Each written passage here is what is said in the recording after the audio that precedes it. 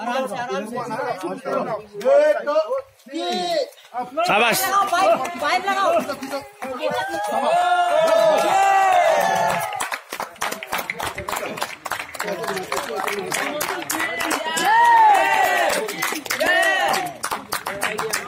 गाय माता की जय।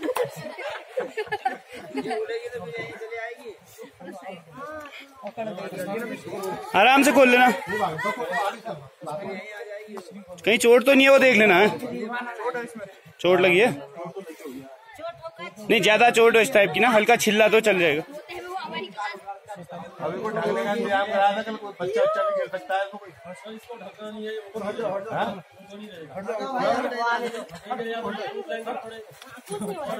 बहुत बढ़िया, शाबाश।